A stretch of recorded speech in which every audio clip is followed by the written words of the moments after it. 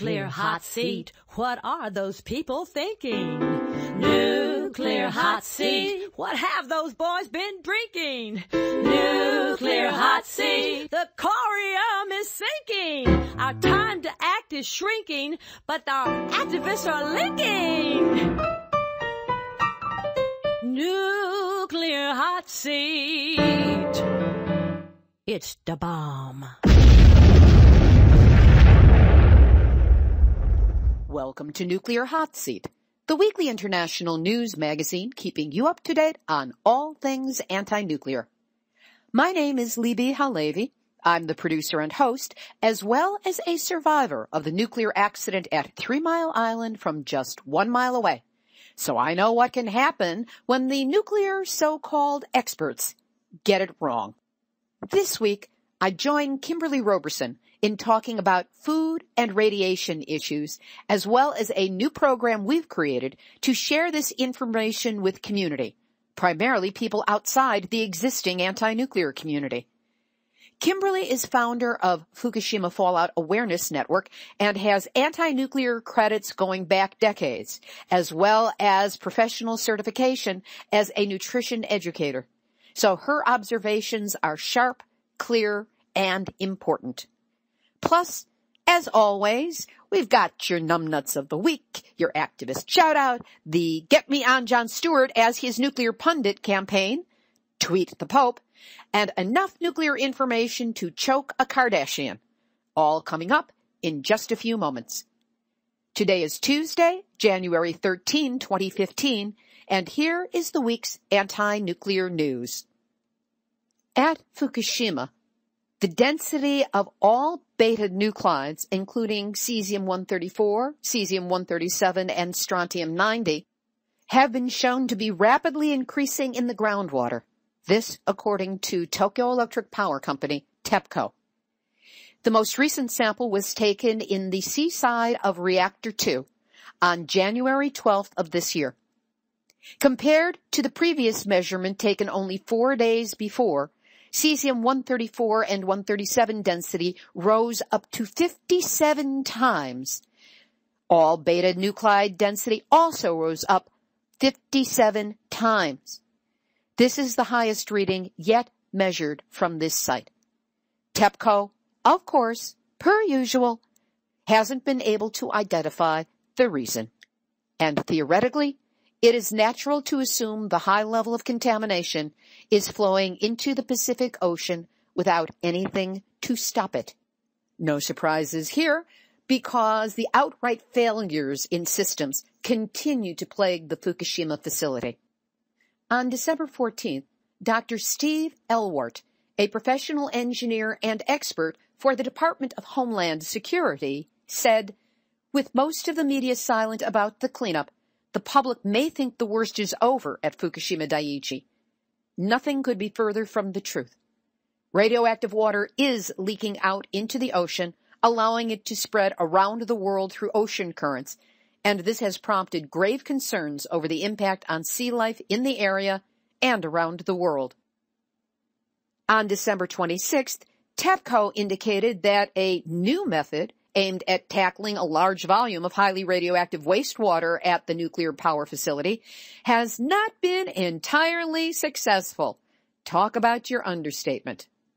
Last month, the utility began pouring cement into underground tunnels filled with contaminated water from the reactor buildings to stop the water inflow. But the water is believed to be leaking into the Pacific Ocean just the same, because officials said that when they pumped water up from one of the pits, the water level at another pit changed, and this suggests that gaps exist in the concrete filled tunnels. And we all know that the ice wall was a total failure. As regards the concept that if you dilute radiation enough, it will be safe, and that what's the big deal about putting it in the Pacific Ocean because the ocean is so big it makes no difference. Dr. Alice Stewart, who is a physician and epidemiologist, said, Dilute it and it will add to the dangers. Jan van de Putte, radiation safety specialist, said, radiation is inducing health damage regardless of how little the doses are. If you dilute radiation, all the health effects will only be more widely distributed this is the only effect of this dilution philosophy. And there will be more about low-level radiation in the activist shoutout today. As regards the release of radionuclides into the Pacific Ocean, a paper submitted to the Society for Environmental Toxicology and Chemistry, written by Dr. Juan Jose Alava and Dr. Frank Gobas, both of Simon Fraser University, stated, the Fukushima nuclear accident emerged as a global threat to the conservation of the Pacific Ocean, human health, and marine biodiversity. A major release of radioactive material with widespread health and environmental effects requiring implementation of planned and extended countermeasures has received scant attention and inadequate radiation monitoring. The potential radioactive contamination of seafoods through bioaccumulation of radioisotopes in marine and coastal food webs are issues of major concern for the public health of coastal communities. Cesium-137 can be expected to bioaccumulate gradually over time in the food web.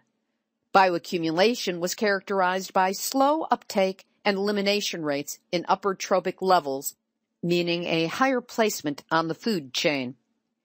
The paper states that magnification of this radionuclide takes place in the marine food web over time.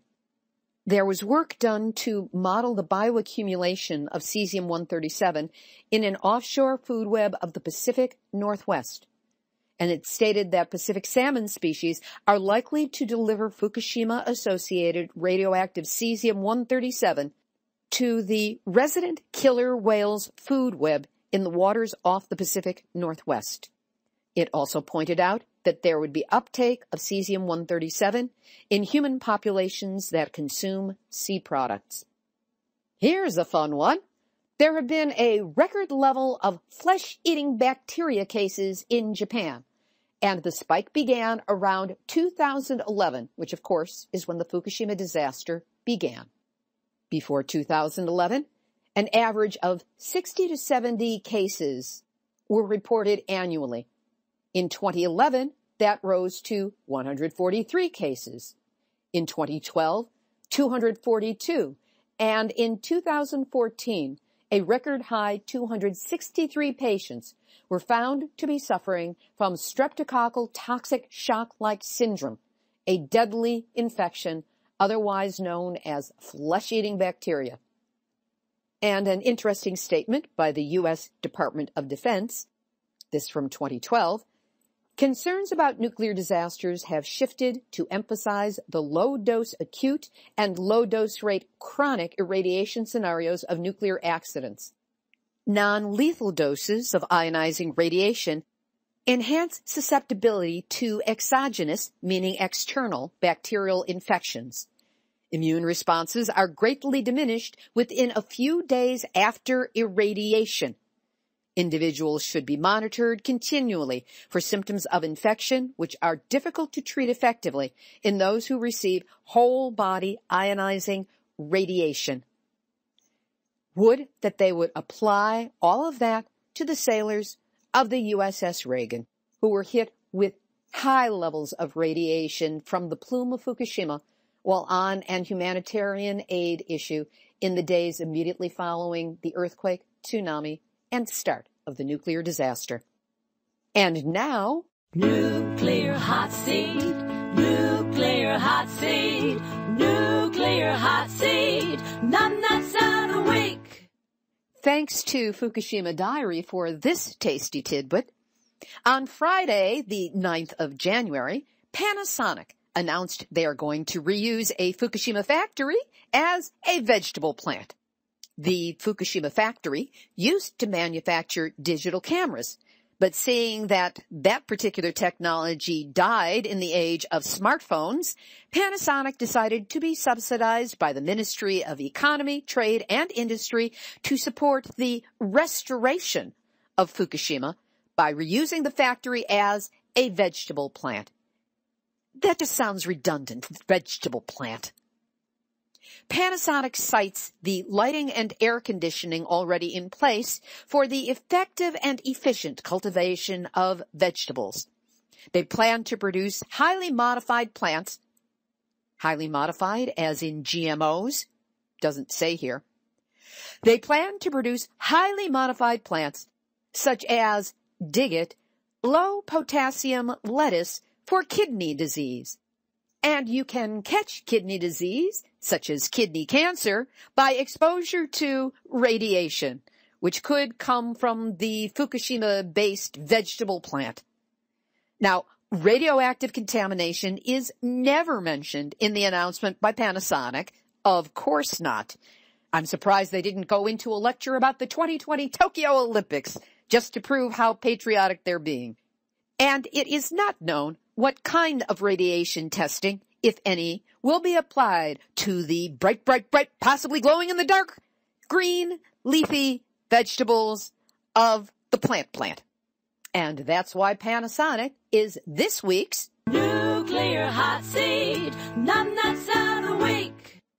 Today, January 13, in Japan, a second criminal complaint has been filed against a former nuclear safety official and eight others, arguing that they failed to take necessary preventive measures in the Fukushima nuclear crisis. A complaint filed in June of 2012 named TEPCO's then chairman Tsunehisa Katsumata and others for causing the 2011 disaster at TEPCO's Fukushima Daiichi nuclear facility. The accused this time include Yoshinori Moriyama, a former official in charge of nuclear disaster countermeasures at the now defunct Nuclear and Industrial Safety Agency, and others, including TEPCO officials. The complainants comprise a range of people, including some residents of Fukushima Prefecture. Their written complaint filed with the Tokyo District Public Prosecutor's Office, accuses the nine of responsibility for people being exposed to radiation because they failed to take countermeasures for possible severe accidents. Meanwhile, the prosecutor's office is reinvestigating the first case after an independent judicial panel of citizens ruled last year that Katsumata and two other TEPCO officials merit indictment despite a decision by prosecutors not to indict them. Go get 'em. And in a little bit of good news, five aging nuclear reactors in Japan will be decommissioned in the near future. Legal changes in the wake of the accident at Fukushima Daiichi limited nuclear reactors to a 40-year operating life. Would that that were the case here in the United States.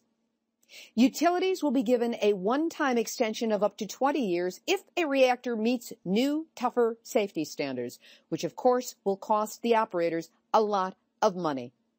And that is why at the Genkai number 1 nuclear reactor in Saga Prefecture, which is operated by Kyushu Electric, officials have decided to decommission the 40-year-old reactor rather than carry out expensive work to meet the safety standards. Six other reactors are nearing or past the 40-year limit. Kansai Electric is expected to decommission the number one and number two reactors at its Mihama plant, while Chugo Electric plans to decommission the Shimane number one reactor. And Japan Atomic Power had decided to decommission its Tsuruga number one reactor in Fukui Prefecture even before the Fukushima nuclear accident because that reactor is now in its 44th year of operation. The reactor will stop operations sometime in 2016 and begin being decommissioned. Here in the U.S., there has been a cataclysmic die-off of birds on the entire west coast, with the epicenter in Oregon. The die-off of birds is up to 100 times greater than the normal annual death rates, and many beaches are literally covered in dead birds. Professor Julia Parrish of the University of Washington School of Aquatic and Fishery Science said on January 6th, we're working with oceanographers and atmospheric scientists to try and discover whether there's something in the environment which is signaling a difference, signaling a change. Don't you just love experts? They're the last people to use the F word. Fukushima. Also in the U.S., thyroid cancer numbers are increasing. Thyroid cancer is known to occur after exposure to high levels of radiation.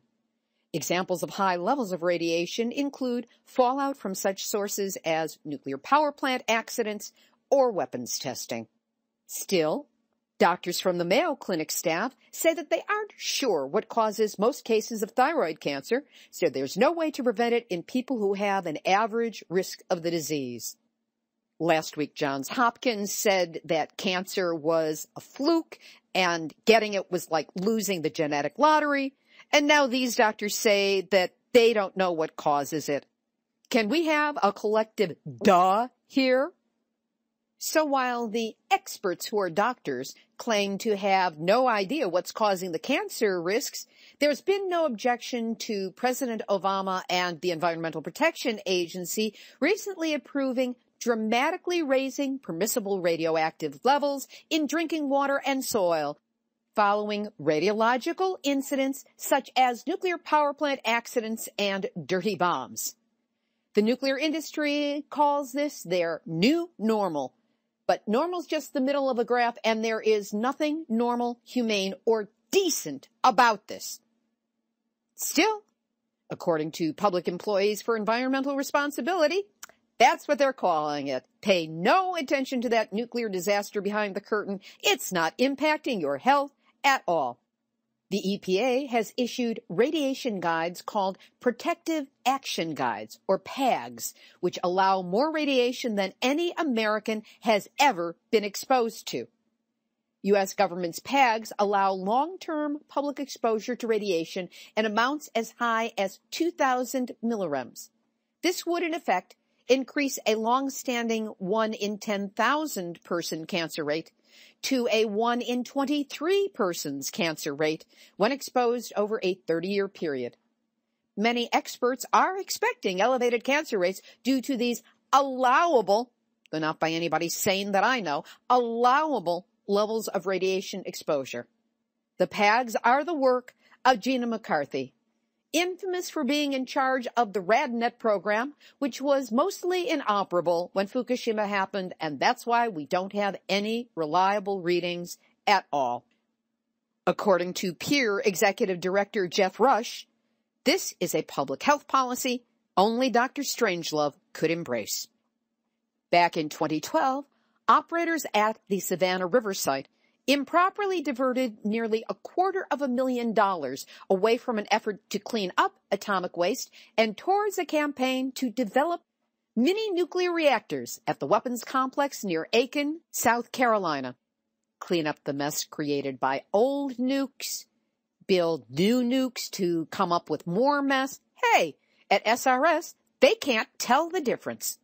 Fortunately, the watchdog group Savannah River site did see the difference and call them on it publicly. Here's a good one. Last May, the Illinois legislature responded to months of mounting hysteria from Exelon Corporation that several of the utilities reactors in the state were losing money and might be forced to close. So the legislature passed H.R. 1146, which directed four state agencies to examine Exelon's claims with a clear intent to support the utility. In October, the Nuclear Energy Institute released a study meant to bolster Exelon's position. Well, on January 7th, the agencies released their report and concluded that Illinois would get by just fine if all of Exelon's uneconomic reactors were to close. Even worse for Exelon, the report said that shutting down the reactors, quote, could even bolster clean energy generation and jobs, end quote. I just love it. We'll have the week's interview in just a moment, but first, it's official! Thanks to the generosity of Nuclear Hot Seat listeners, I am going to Dr. Caldicott's Symposium on the Dynamics of Possible Nuclear Extinction. I don't know many people who would be this excited about going to an event with a title like that, but I sure am. This will allow me to bring you interviews with participants and activists from around the world and get you up close and personal with the excitement, the strategizing, the brain trust, and the camaraderie of our community as we come together in an international anti-nuclear critical mass. Thanks to the generosity of Nuclear Hot Seat listeners, I have thus far been able to cover airfare, it is booked, and housing. That's just about covered. But I still need to be able to cover ground transportation and, oh yes, meals while I'm there. It would be helpful if I could eat. Real food, mostly vegetables, not a lot. So I invite you to contribute to helping me bring the excitement of this important symposium into the electronic device of your choice.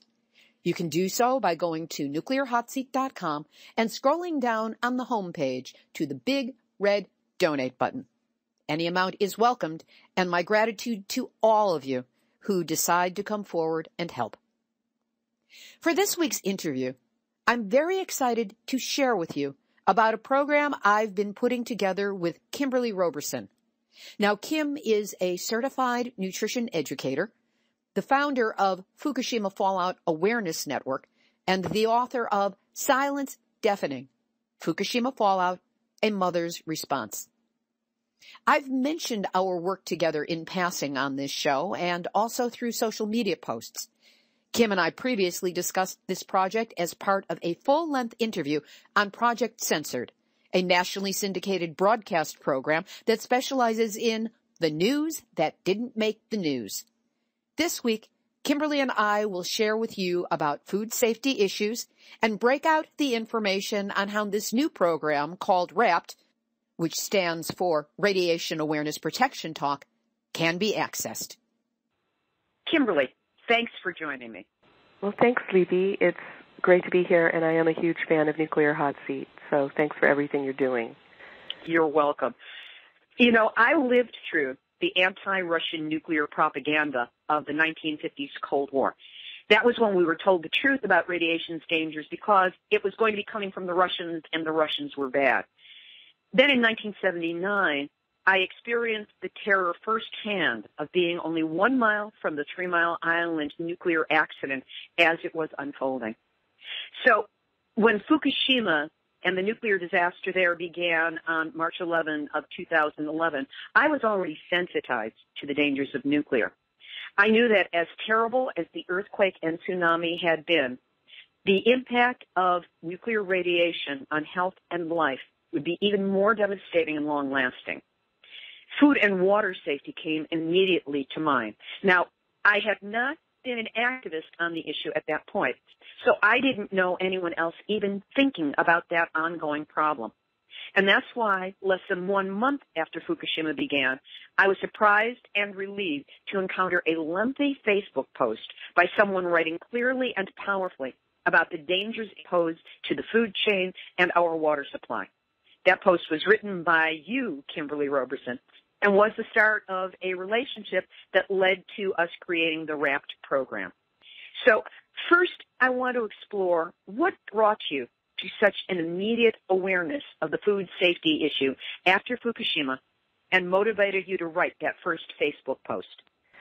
Well, everything was really converging in that moment when I learned on March 11th of 2011 what was happening in Japan because I have a background in both anti-nuclear activism and holistic nutrition.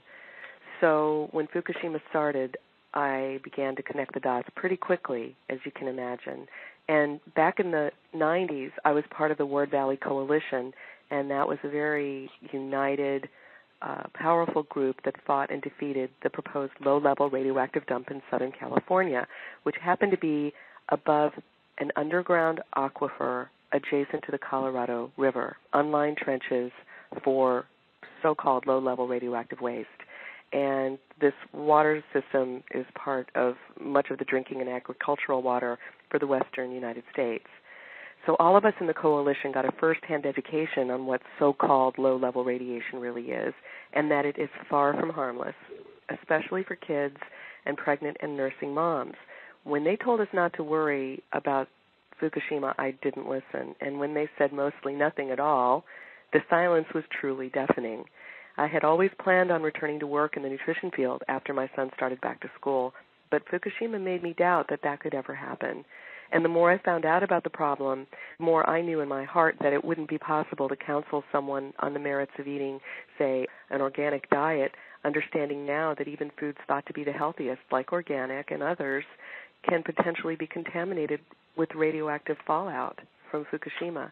So this really sacred system of belief that I have was seriously threatened. And not only did I mourn what was happening to the planet and its inhabitants, but also what I thought was the loss of a profession that I really treasured. And after 10 years of working in that profession, there was a lot of mourning there. So I tried to turn that around as best as I could into proactive work.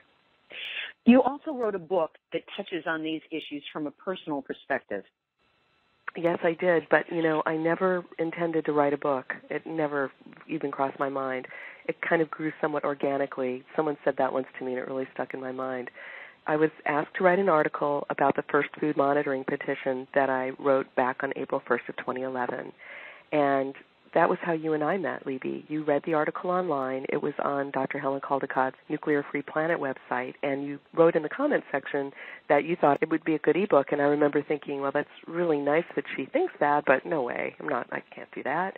But it stuck in my mind, you know, as those things do. And once the ebook was completed, someone else asked for it to be in a print edition. They could actually have a book to hold.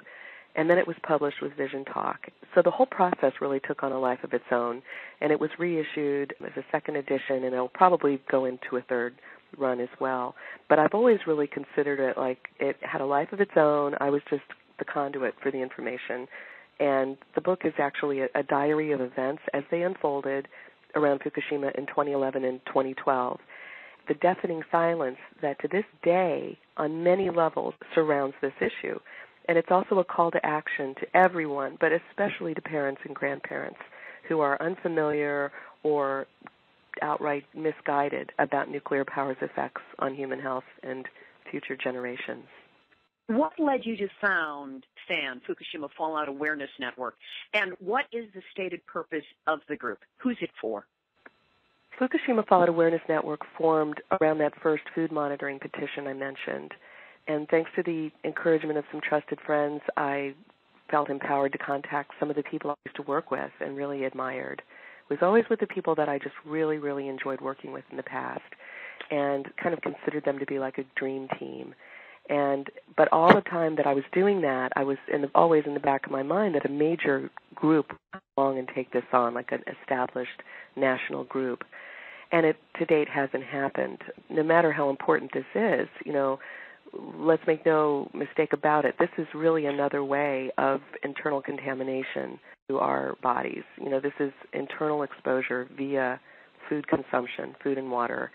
And internal contamination was without, uh, without a doubt the most harmful type of exposure to radiation. Internal contamination is without a doubt the most harmful type of exposure to radiation. It's cumulative and it's extremely destructive. It's a real complex issue. It's an elephant in the room that groups really weren't and still aren't ready to deal with head on.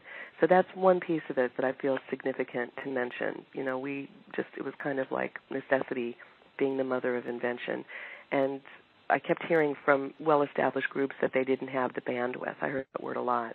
They had their own agendas and boards and budgets. And to be fair, this is a world where we have so many extremely difficult challenges already the climate change, the GMO, and many others. So we were able still to, to pull together a group of pretty, I would say, very impressive people. And our mission is simply to protect and improve the food and water quality in the United States due to the Fukushima disaster and to work with people in Japan to help them as well. Tell us about the petition FAN put out. The petition was filed with the United States Food and Drug Administration back on March 12th of 2013, and it calls for a significant reduction in the current allowable levels of cesium-134 and 137 in food, nutritional supplements, and pharmaceuticals. Currently, the U.S. has the highest allowable levels for radioactive cesium in the world. And basically, what it boils down to is that it's a huge loophole that has never been addressed before. Some people think that the FDA raised allowable levels after Fukushima started, but that's not true. That was EPA and water. What FDA has done, they established such an incredibly high level to begin with that it didn't need to be raised. That level is 1200 becquerel per kilogram. Now, a becquerel is one atomic disintegration per second. A kilogram is roughly two and a half pounds of food, say in this case spinach. 1,200 becquerel per kilogram of cesium 134 and 137 of food in the U.S., as opposed to 100 becquerel per kilogram of cesium in food in Japan, which is still enough to qualify it as nuclear waste. FAN is the only group currently working to improve food policy in the U.S. due to Fukushima and man made radiation in our food supply. And I wanted to mention too that the cesium 134 and 137 are two radionuclides that indicate that many others are present. So even though it seems like there's it's only testing for two, it's like the canary in a coal mine where there's one even there are many many others. I also wanted to be sure to mention that there's a signing petition to the FDA comment petition also. Both of our petitions are at www.ffan.us. The citizen petition is for commenting. It takes a few minutes to do. The signing petition takes just a few seconds. And of course, I will have links up on the website, nuclearhotseat.com, under this episode, number 186. Now, I want to let listeners know that Kim, you became an early interviewee for Nuclear Hot Seat and have been a recurring guest, as well as a source for background information every time an issue came up dealing with food safety. I would call you, discuss the information I found online, and work with you to figure out whether it was reliable or not before passing it along as part of the program. It's just the level of research that I do.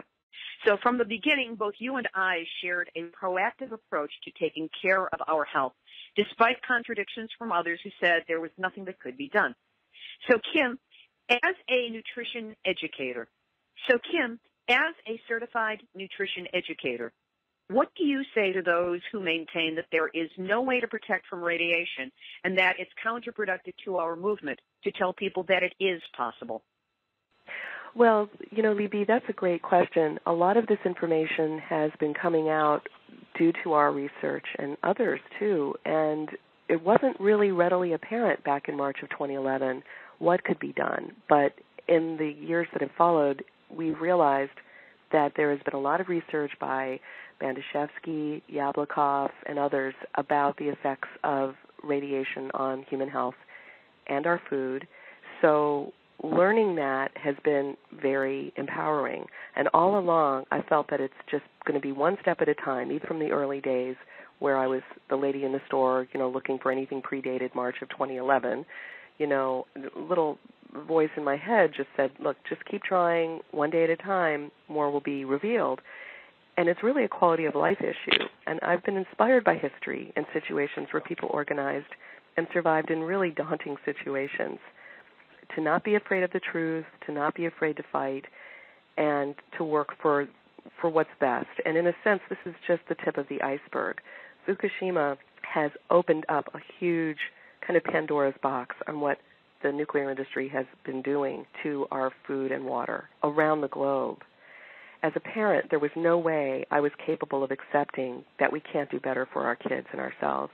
We're responsible for children. We need to work hard to find ways to keep them as healthy as possible. And don't forget that this radioactivity is transgenerational DNA damage causing. It doesn't just affect one child going down the ancestral line. It's the child's child and the child's child's child. It goes on for generations.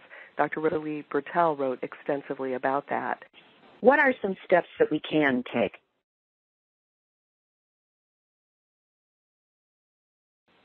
There are some obvious things to do, like filtering our water, but some others aren't so obvious. For instance, edible clays and zeolite have been used for thousands of years by people to feel healthy, to feel better, to have more stamina, without really understanding, of course, what the scientific reasons were for that happening. But now we know why they work. Again, Bandashevsky and Yablokov, we know that there were things that they discovered through their research that significantly help people. One example in the Belarus region during and after the Chernobyl nuclear crisis, which actually I shouldn't say after, it's ongoing as well. That's where they used zeolite, both in capsule form for the liquidators and also baked into cookies for the children. Another example is lessons learned as far back as Nagasaki, where after that horrific bomb blast, people who survived that were under the care of a doctor about uh, 25 kilometers away. I can't remember exactly. I write about it in the book. And it was at St. Francis Hospital. And he was able to keep every patient in the hospital healthy, away from radiation poisoning. No one had radiation poisoning if they avoided sugar and ate a macrobiotic diet. Fascinating, fascinating stuff.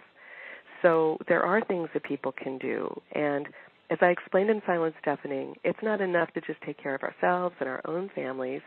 Change has to happen with how we create energy in our world so that there are no more Fukushimas. I mean, we have to transition as soon as possible to safe energy sources. Some say we've passed the tipping point, and others disagree with that.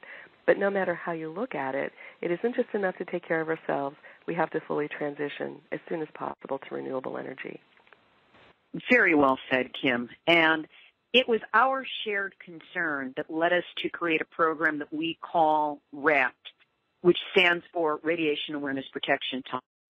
I've found that there's a lot of fear and confusion in the general population about food safety, supplementation, and just generally how to take care of one's health in the face of the threat of radiation from Fukushima and elsewhere.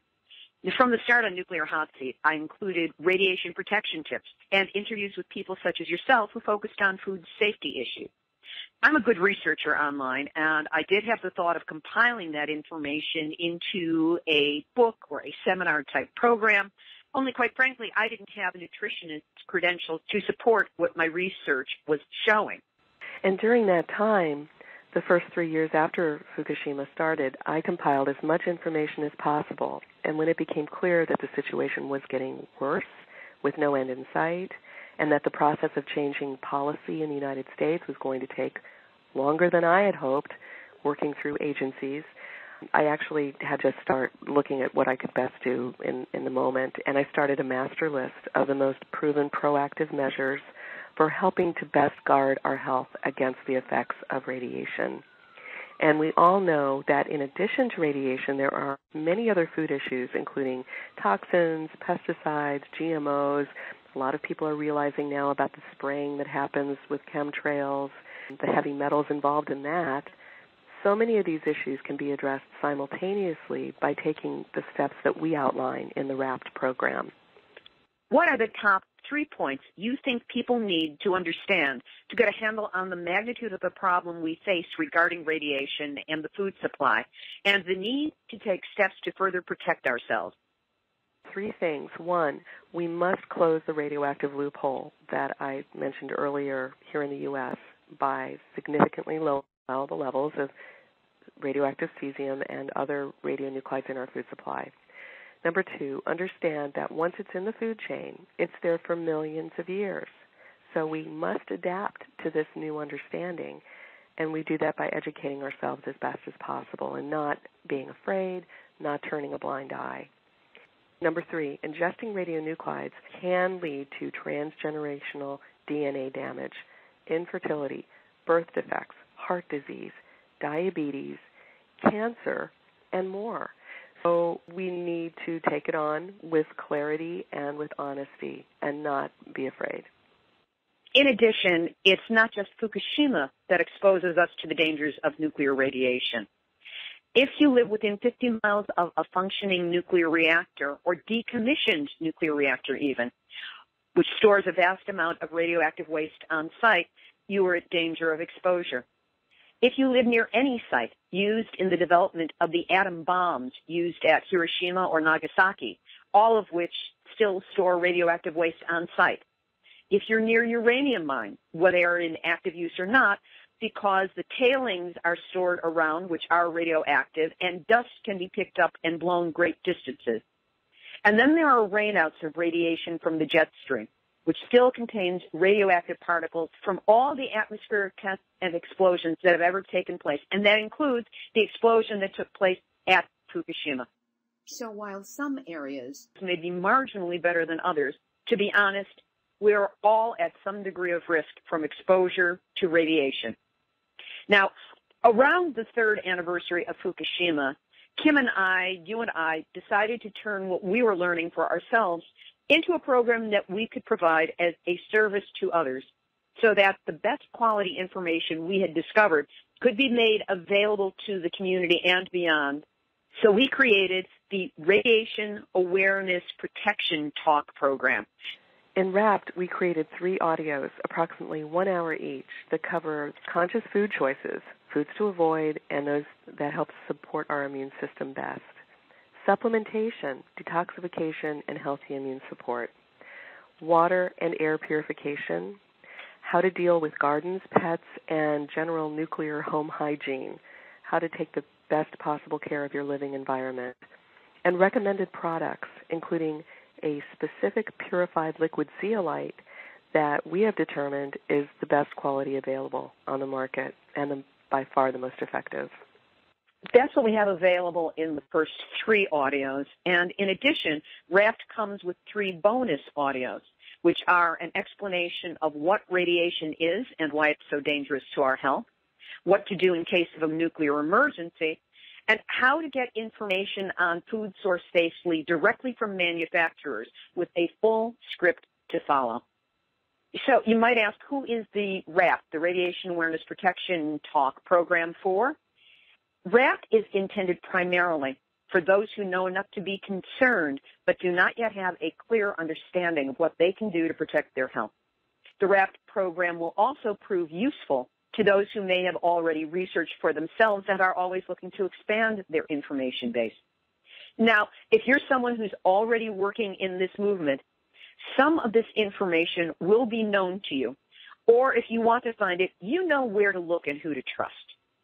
And I want to make this clear. You are not our intended audience, though of course everyone can benefit from what we have provided. But there are people who know nothing of how to protect themselves. They don't even know that they need to protect themselves and their families. They don't know where to look. And they want the information from a source that they can trust, where there is such a glut of free information available on the internet. Very good points, Libbe. And also mothers and fathers, women who are pregnant or want to become pregnant, mothers who are nursing, those who are compromised with immune system difficulties or chronic diseases, and of course the elderly. They're so overlooked in our society. They're such valuable family members and parts of our community, and they're more susceptible to radiation dangers as well. And also health professionals who have been avoiding the issue out of confusion or fear or just not knowing about it at all. RAPT can help them adjust key protocols for health so that the very best information is made available to their patients and clients. And again, I did not know personally how I would ever be able to continue working in the field of nutrition, knowing what Fukushima was doing to our food supply. But with RAPT, there are some very basic plans that will enhance any client or patient protocol. So if you are a health professional, be it holistic or allopathic, please feel free to contact us for more information, and we'll tell you how in a few minutes. The question then comes up why trust us? Why trust you and me as the source of this information? As a nutrition educator, I have been working in the field for many, many years. Prior to Fukushima, I first worked on anti nuclear and other environmental issues beginning in 1989. I started young, then in the field of nutrition from 1998 to 2008 when I took a break to become a stay at home mom. But I still worked very extensively on, on understanding what was happening with Fukushima. Before, I specialized primarily in detoxification and addiction recovery, and have worked at several Bay Area recovery clinics and hospitals, including Haight Ashbury Free Clinic, the Henry Ohlhoff programs, Bayside Marin, and Mount St. Joseph St. Elizabeth Hospital's Epiphany House. And I've also been active in lobbying in DC and Sacramento for both natural health and environmental issues. So I bring this experience to the detailed work that I'm doing now. I understand how important it is to get it right and to be as clear and concise and accurate as possible. And my background is as a journalist and researcher. And I bring to the table what I've learned from producing over 185 episodes. It's hard to believe it's that many, but 185 episodes of Nuclear Hot Seat what I learned about and began doing for myself and my health after Three Mile Island, which may be the reason I'm still alive today. Now, woven into RAP is information about the entire nuclear situation. So especially for people who aren't familiar with the kind of political background we're dealing with, it has the potential to motivate others to join our movement. There's an old saying from the 60s and 70s, the personal is the political, and nothing is more personal than our health. So perhaps RAPT can motivate people to join us in our efforts.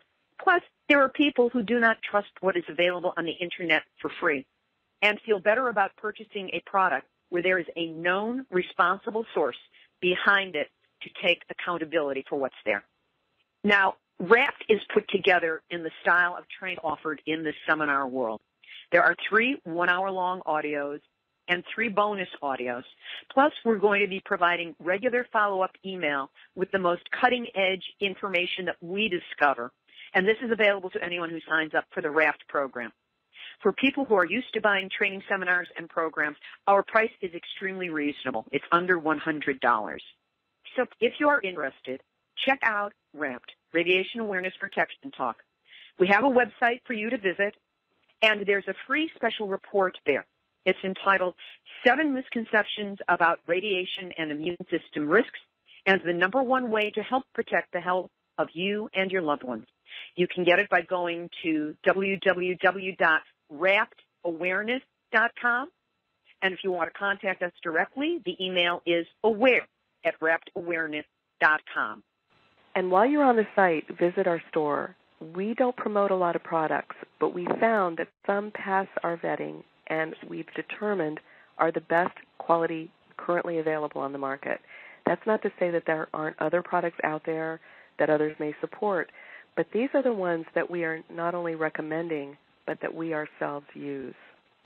Kim, I want to thank you for being here. Kimberly Roberson is the founder of Fukushima Fallout Awareness Network, the author of Silence Deafening, Fukushima Fallout, A Mother's Response, and the co-creator of Radiation Awareness Protection Talk.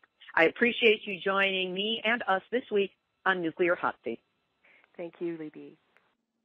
That was Kimberly Roberson of Fukushima Fallout Awareness Network the author of Silence Deafening, Fukushima Fallout, A Mother's Response, and my partner in Radiation Awareness and Protection Talk. We have a free report on the food safety issue up on the RAPT website, which is raptawareness.com. And if you want a shortcut to get there, go to Nuclear Hot Seat, where there is a button that looks exactly like the RAPT logo up on the home page and under this episode, number 186. Also, there's a button to click if you want to learn more about the purified liquid zeolite product we mentioned. Finally, I will be posting a link to the Project Censored interview, which was broadcast in 20 different markets around the country and now lives online forever. Activist shout out. Last December, Nuclear Hot Seat reported on a proposed bill by Illinois Republican Representative Randy Hultgren of the 14th District that proposed the Low Dose Radiation Research Act of 2015.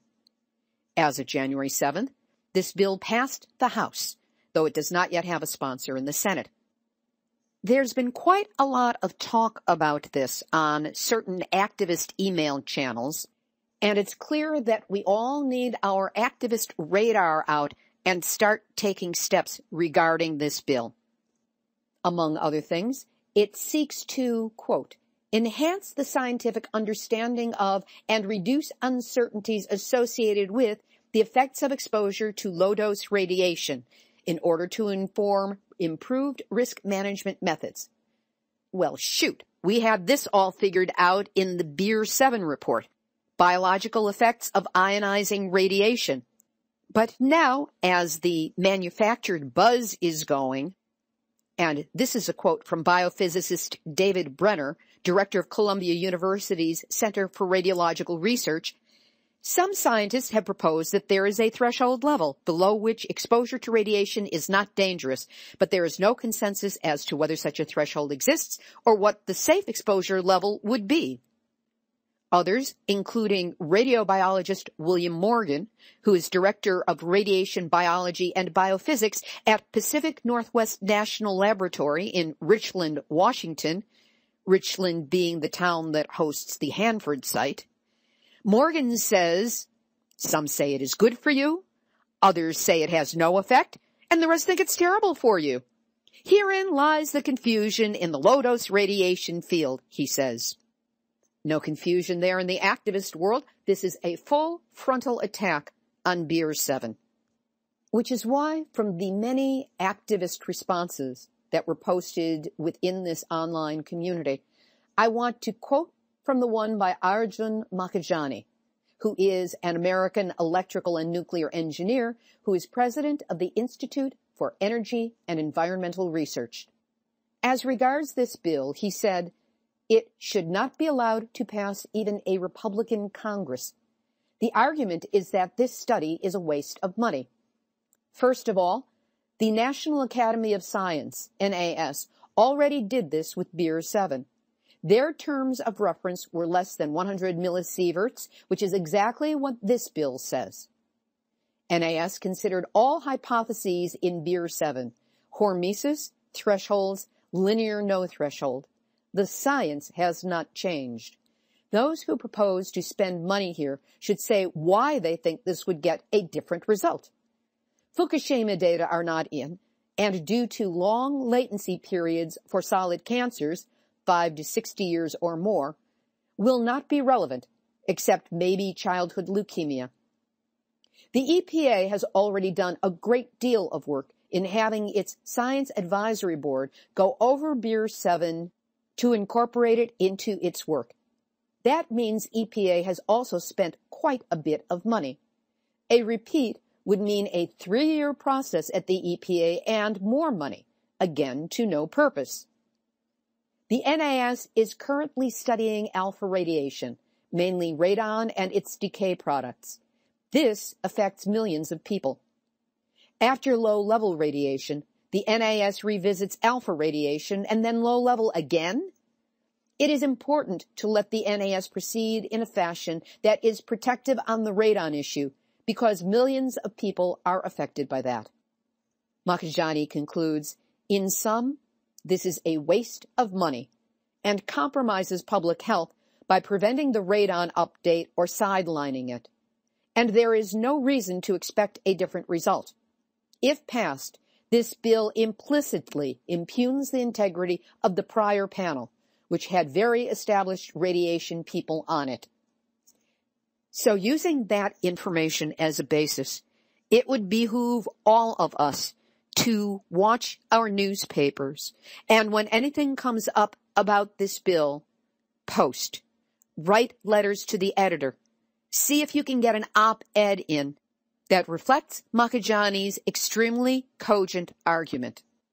Considering that this bill has been welcomed by the Washington, D.C. based Nuclear Energy Institute, which is the nuclear industry's main trade group, and is being proposed by a Republican congressman who represents a district that includes the Department of Energy's Fermi National Accelerator Laboratory, you've got to believe that it's not good news for those of us who oppose nuclear. So let's take steps early and often and make our perspective heard. Jon Stewart shout out. Jon, while I'm in New York for Dr. Helen Caldicott's symposium, how about setting up a meeting for me with one of your producing staff? Give me five minutes and I promise to blow you away with nuclear numbnutsery that can enrich the Daily Show. So anyone who has any connections to Jon, or Jon, if you're hearing this, I'm a coming. Make some room. Let's talk. Here's today's final thought. I've established contact with a number of journalists around the world and maintain judiciously regular correspondence with them. I don't bug them. I make sure that when I do reach out, it counts. One of these, whose connection I really prize, is Martin Fackler, who is Tokyo bureau chief for the New York Times. I wrote him about two weeks ago, asking him about any impact he's seen from the Japan State Secrecy Act, which was enacted as of last December 10th. I told him that I've seen many of my contacts in Japan dry up, and I suspected self-censorship as opposed to the government imposing itself as of yet. I found his answer brief but provocative. With Martin Fackler's permission, I quote, Dear Libbe, Happy Year of the Sheep to you. I haven't felt an impact from the secrecy law, at least directly. But here in Tokyo, there is almost no information about Fukushima these days. Just about zero. The reason is radiation has become an unpatriotic subject and thus a new media taboo here. The new law may have some impact on this, but the disappearance of Fukushima from public discourse precedes it. So radiation is now unpatriotic and it's a new media taboo. So this is to my listeners in Japan. Is this what you have found to be the case as well? What insight might you be able to provide? If you are on the ground in Japan and can comment from firsthand experience, Facebook me or send an email to info at nuclearhotseat.com and let me know what it looks like from your perspective. I will maintain privacy and confidentiality at least as best one can through online communications. Whether it's official government censorship or self-censorship based on fear, it's already impacting the news from Japan. Help me understand and help the other listeners of this show understand what there is to be learned about what's going on. This has been Nuclear Hot Seat for Tuesday, January 13, 2015. Material for this week's program has been researched and compiled from ENENews.com, Fukushima Diary, and our friend Iori Mochizuki, Yomiuri Shimbun, Fukushima Institute of Public Health, U.S. Department of Defense, Society for Environmental Toxicology and Chemistry, NHK, JapanTimes.com, RadioactiveEU.com, Asahi Shimbun, Oregonian, University of Washington School of Aquatic and Fishery Science, the Mayo Clinic, naturalsociety.com, thestate.com, safeenergy.org, nuclear-news.net, and the amazingly resilient and ever on key Nuclear Hot Seat Facebook community. I invite you to join us, friend us. We are at over 1,000 friends and working our way to 2,000. You can also tweet to Jon Stewart or the Pope about us. Theme music for Nuclear Hot Seat was written by me and sung by Marilee Weaver. Nuclear Hot Seat is syndicated by UCY.tv and is also available on airprogressive.com. And I am very pleased to report that for the first time, we will be broadcast in a real FCC based broadcast situation with KYAQ in Oregon. Woohoo! I'll let you know when that gets started. Meanwhile, if you're looking for back episodes, you can check on our website, nuclearhotseat.com, either the list that we have of the past 25, or you can search for something a little bit more esoteric and older. You can subscribe under podcasts on iTunes, and that is where you'll also find all of our episodes posted. Nuclear Hot Seat is the activist voice on nuclear issues. So if you have a story lead, a hot tip, or a suggestion of someone to interview, send an email to info at nuclearhotseat.com. We are copyright 2015, Libbe HaLevy and Heartistry Communications. All rights reserved, but fair use allowed to not-for-profit groups, blogs, and websites. You have my permission to reuse as long as proper attribution is provided. This is Libbe HaLevy of Heartistry Communications, the heart of the art of communicating, reminding you that you can and should tweet the Pope, asking him to speak out against nuclear as part of his encyclical on climate change. You can do so by sending him a message at, at Pontifex. That's the mark A with Pontiff and EX at the end. And once you've done that, remember that we've all had our nuclear wake up call. So don't go back to sleep because we are all in the nuclear hot seat. Nuclear hot seat. What are those people thinking? Nuclear hot seat. What have those boys been drinking? Nuclear hot seat. The corium is sinking. Our time to act is shrinking, but our activists are linking. Nuclear hot seat. It's the bomb.